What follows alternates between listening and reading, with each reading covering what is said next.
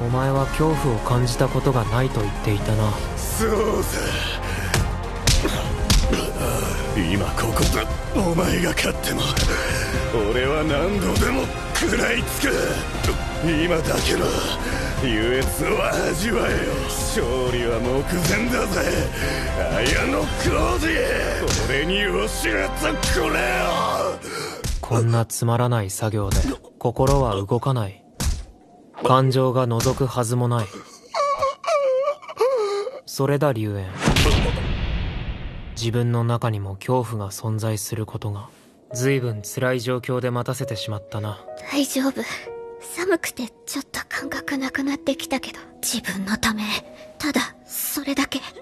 確かなことは今日この瞬間お前を縛る呪縛はなくなったってことだ。今日のようにお前に何かあれば俺は必ずお前を助けに来る。